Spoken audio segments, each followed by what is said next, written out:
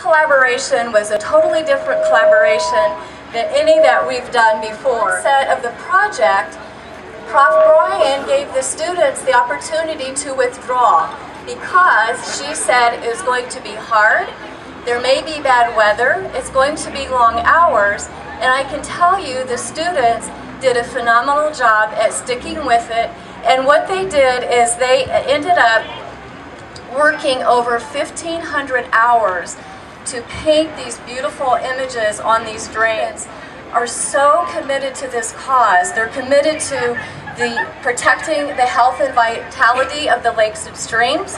They're committed to donning wader, waders and going into the lakes and streams to really explore the habitats.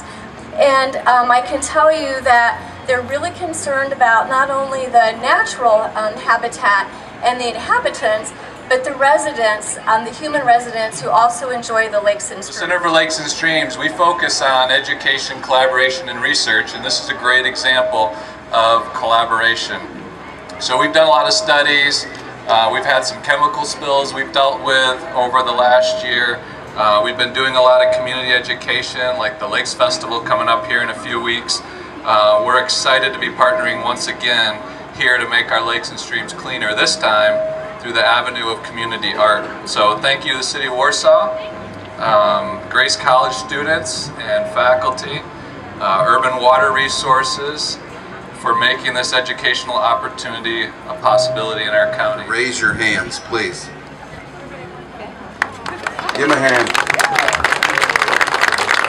Saw countless siren, fire truck, police cars, ambulances come by. They're covering their ears, and then they start painting and then they cover them again. And it was a long process. The weather was sometimes good. Uh, thankfully, today it's very nice. And I won't go on and on, but I, I, I'm glad you students didn't withdraw. I'm glad you drew. That's pretty bad. So thank you. The quality is, is incredible. We're excited to do this in uh, Grace College and, and, Lakes and Streams, and I got to stand up for my guys. Uh, Teresa, if I give her a hand.